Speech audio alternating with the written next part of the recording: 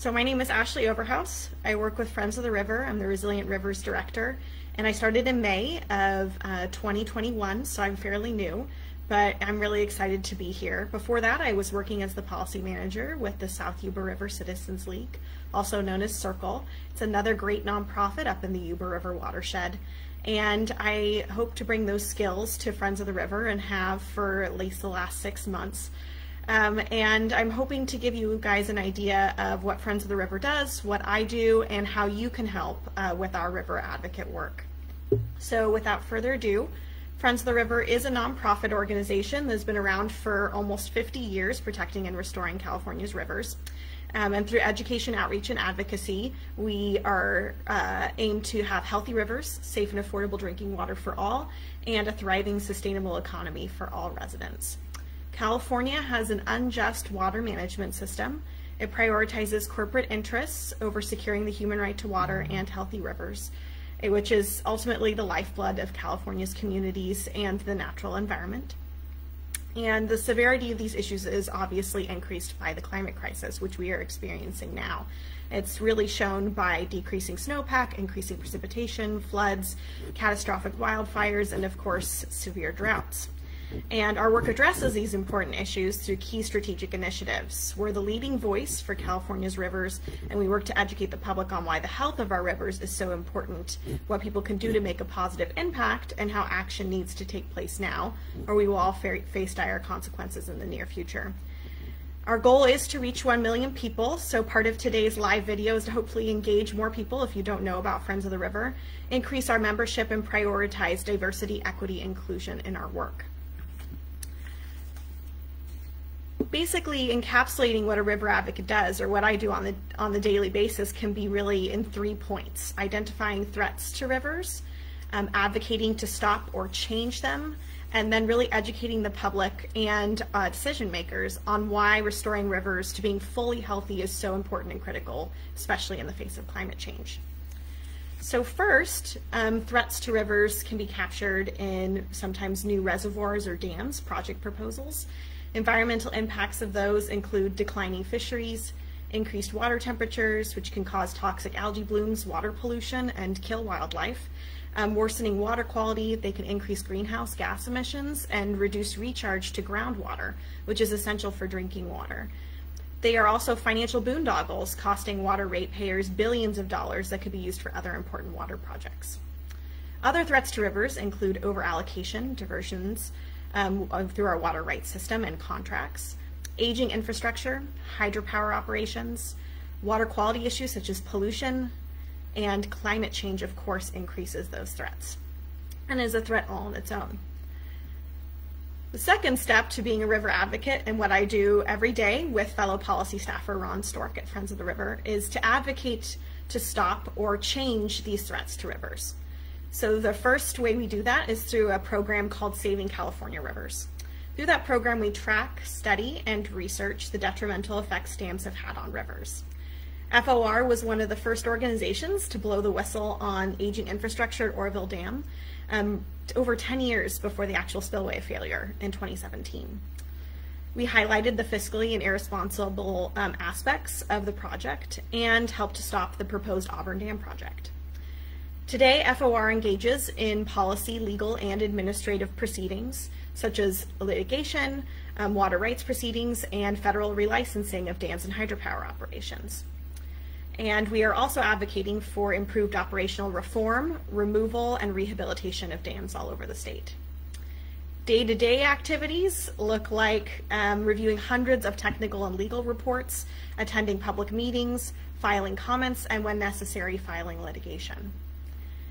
The second program that we work on is called Revolutionizing California Water. FOR engages over a dozen coalitions and forums that work to improve water management in our Golden State, and we advance resilient water alternatives to deadbeat dams. This includes being a founding member of the Sacramento Water Forum and um, other kinds of forums and collaboratives that really work to help promote resilient water solutions. Um, examples of those solutions could include recycled water, um, really improving the uh, pace and scale of urban stormwater capture, improved urban and agricultural water conservation, and groundwater recharge. So the third aspect of really advocating for rivers or fighting for rivers is educating the public to um, so they understand the value of healthy free-flowing rivers and why restoring rivers is so critical for our future. Healthy rivers provide flood security, natural groundwater recharge essential to drinking water, healthy ecosystems, resilience to catastrophic wildfires, and a buffer for communities in the face of climate change truly. And what does a healthy river even look like?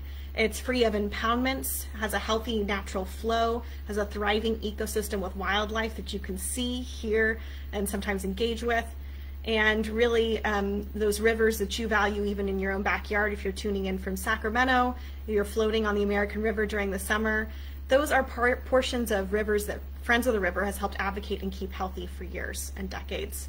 And we hope that people can continue to enjoy those rivers and thrive um, for generations to come. California has actually acknowledged the value of healthy rivers somewhat in what's called a 30 by 30 initiative. And so in October of 2020, Governor Newsom issued executive order recognizing the importance of protecting California's biodiversity and recognizing the importance of preserving coastal waters and lands um, in the face of the climate crisis. And so it actually included a bold goal of including um, 30% of our lands and waters in conservation by 2030, hence the 30 by 30.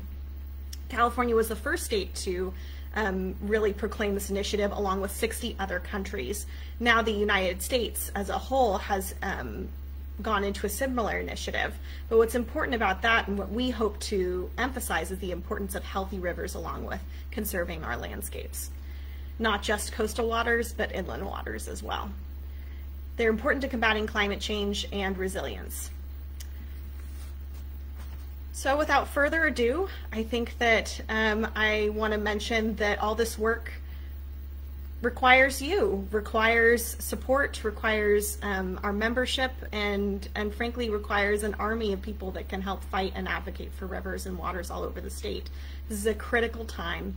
And uh, Friends of the River is currently fundraising for our organization, and you can help with our work today. Um, the climate crisis is a water crisis, truly, and your support enables me, Ron Stork, and my other colleagues to fight for our rivers at the Capitol, in the court, and with state agencies. We're engaged in over a dozen active court cases, water rights proceedings, and federal administrative proceedings. And we also are only a policy team of three people with great volunteers and members um, with numerous coalitions, but we really need your support to leverage our work and, and make it possible. If you can't donate today, please consider volunteering with Friends of the River. You can email info at friendsoftheriver.org. Again, that's info at friendsoftheriver.org to help us stop more deadbeat dams, advocate for resilient water solutions and policy and legal reform, or just learn how to get out on the river and guide and learn how to be an advocate through our RATS training program. So if you want information on how to take action and help support FOR today, again, please visit our website at friendsoftheriver.org um, or email info at friendsoftheriver.org to help get involved in any of those three actions. We're now at 10 minutes out of our 30 minute lunch session. I will now open it up to questions um, live Q&A with me if you have questions about um, what I do, what Ron Stork does, what Friends of the River has been working on in 2021. I welcome those.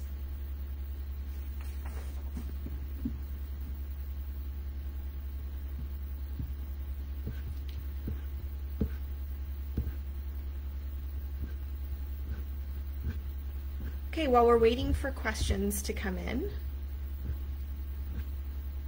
I just want to um, give a couple recommendations for people that are interested in learning more about how to be a water advocate, give a little bit more information about my background. I went to law school at UC Hastings, it's in San Francisco, and I also received a master's in law from the University of London.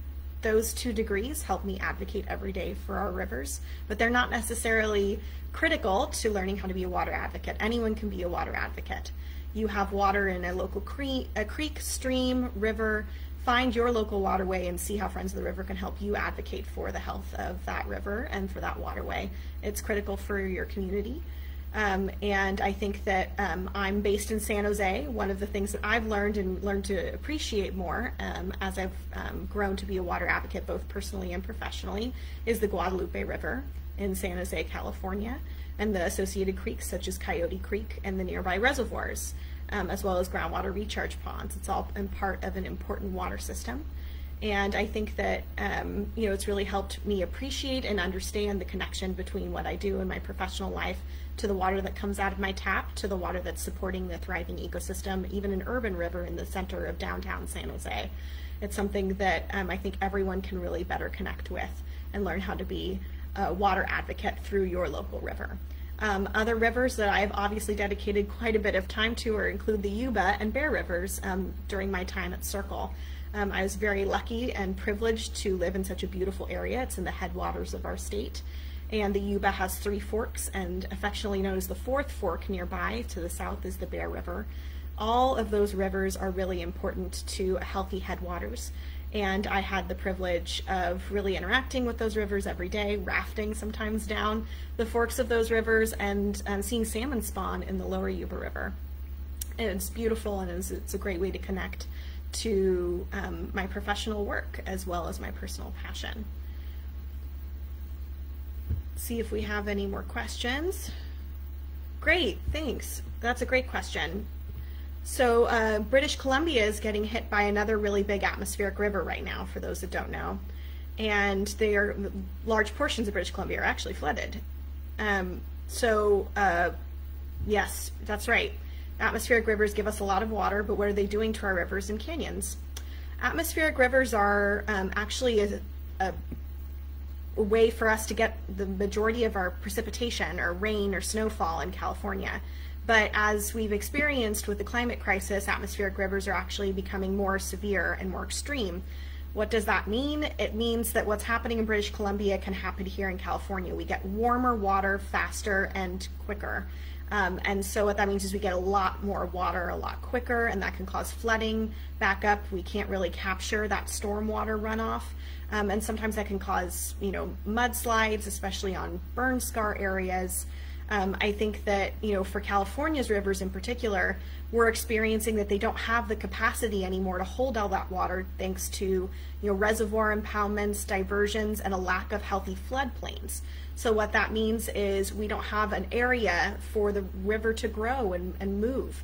Um, and that lack of flexibility, um, unfortunately, due to development and impoundments of our rivers, means that we can't be resilient in the face of more atmospheric rivers, as we're going to be getting, and we're we're predicted to get. Um, in climate change, we already experienced one um, in October, which caused um, historic levels of precipitation all across California, but more specifically Northern California. And we can expect to, unfortunately, see more atmospheric rivers in our future. Sometimes they're also called pineapple expresses, depending on the time of year when they come. Another great question, thank you. Why are dams bad for the environment? Well, um, there are over 1,400 dams already built in California, and they provide essential water for um, agriculture and urban cities and, and populations. But unfortunately, dams also impound rivers. So what they do is they actually cut off the natural flow of the ecosystem. They worsen water quality by keeping that water warm and still in a lake fashion instead of a flowing river. That causes damage to the ecosystem and wildlife. It also um, really prevents a lot of natural groundwater recharge. So what we're learning now, um, at least in modern policy, is that groundwater and surface water are connected. So when you change the actual flow of a river, it does change the amount of recharge and what happens with that groundwater. Groundwater is really important for drinking water and for agriculture. So we really want free flowing rivers. Thanks, Richard. That's another great question. What can engaged volunteers do to help protect California's rivers? You can volunteer at Friends of the River. You can also volunteer for other watershed-based organizations such as the Tuolumne River Trust or the South Yuba River Citizens League or for your local conservatory. Um, additionally, you can also you know, uh, learn how to guide on your river. Um, if you're interested in really recreating on your river, you can learn how to guide. That really rafting helps bring your connection to the river and you can learn through our training program, um, our RATS program, how to advocate at the same time. Um, finally, you can also contact your decision makers, your local elected officials. That's something that Friends of the River, stay tuned, has an action coming out here soon. Sign up for our e-newsletter so you can get up to date. But we send um, letters to our local officials, leaders such as Governor Gavin Newsom or your uh, elected local officials and especially water agency officials who really help um, influence the health of your local waterway. So if you are getting involved in local politics, please let us know. Friends of the River can help you with that um, because healthy rivers are really important and those decision makers really help control the impact and, and health of those rivers in their future. If we have other questions, I have reading recommendations.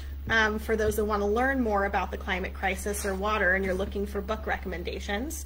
Um, I frankly would recommend anything by Tim Palmer. He has some beautiful photos of wild and scenic rivers, especially the rivers that Friends of the Rivers help protect, um, but you know has a lot of great advocacy in those books as well.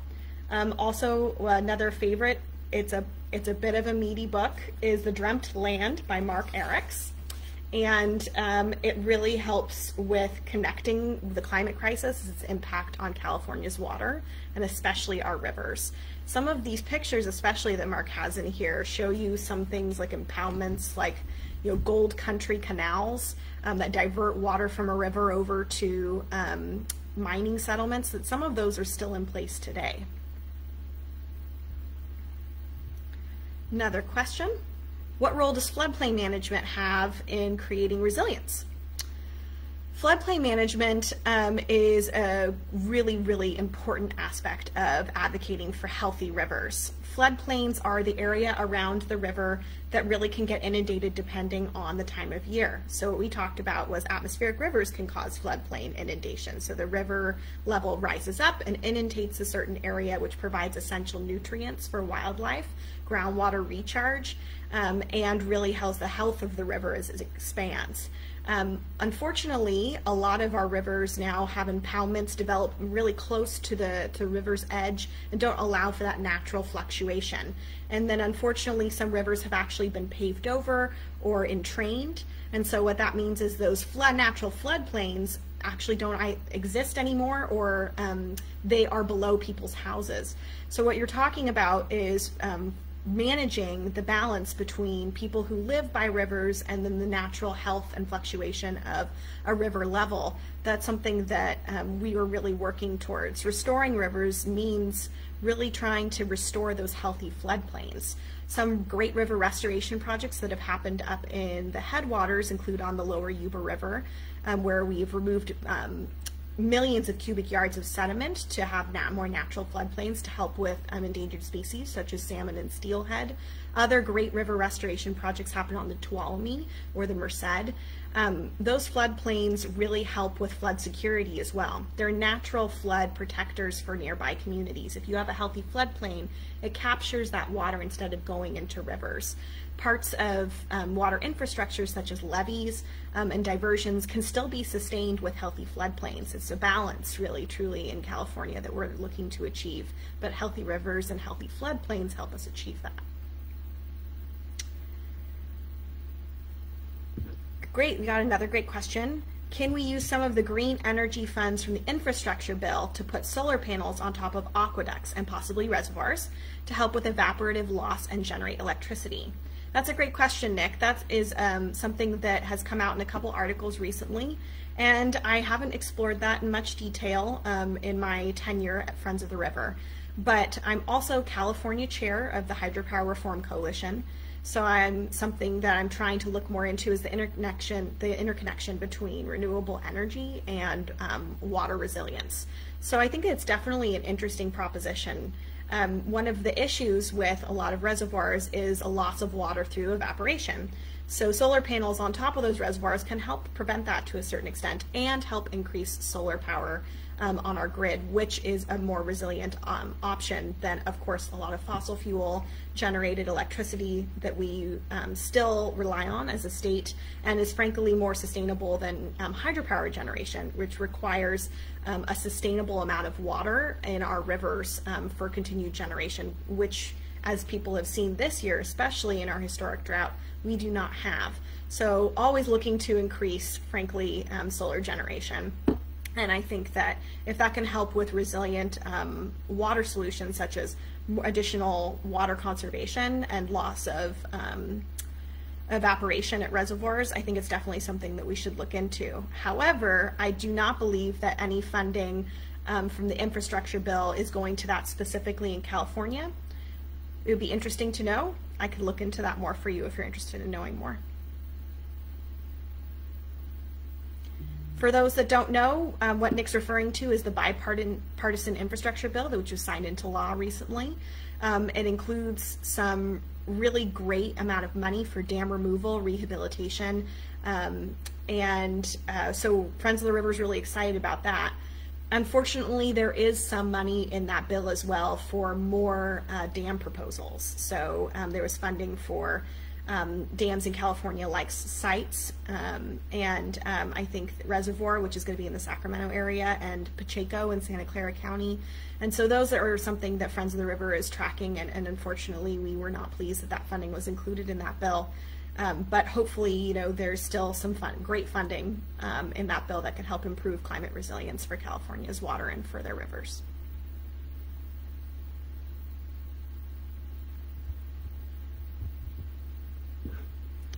Do we have any more questions? I've been talking at you though for 25 minutes, so to be fair, we've covered quite a bit. I want to once put out again the pitch to help support FOR.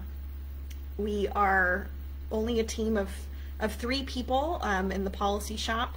Um, we're, we're putting on a big fundraiser right now. We really essentially um, need that help um, from you. If you don't feel comfortable donating today, please consider volunteering. We have a lot of work to do in 2022, some exciting opportunities, but more threats, and so we need your help.